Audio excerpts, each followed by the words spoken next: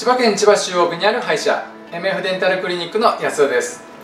今回の質問ですがと 40代で総入れ歯にするか悩んだ時はどうすればよいかという質問にお答えしたいと思います。総入れ歯というのは全部の歯ご自分の歯がなくなった時に作るうん全全部を覆う歯茎を覆うと入れ歯のことです。総入れ歯をするかしないか悩んだ時しないとと歯茎でご飯を食べないといけなくなります。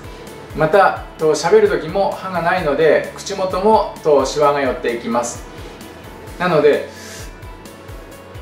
40代で、えー、入れ歯という、えー、総入れ歯という方を私は知りませんがと40代だとまだバリバリ全然バリバリ働いてる、えー、時期な、えー、年齢ですので40代で 総入れ歯で、えーと、歯が一本もなくてと入れ歯を入れないとなるとと人と話がしづらい。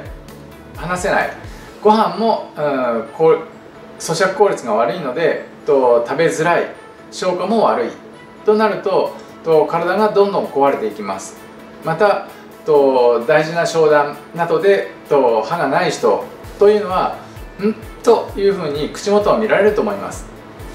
なのでと悩んだ時はどうしたらいいか。悩まず歯がないない状態でしたらとそういればを作った方がいいと思います。ご質問ご相談はとコメントいただければ随時お貸ししたいと思います。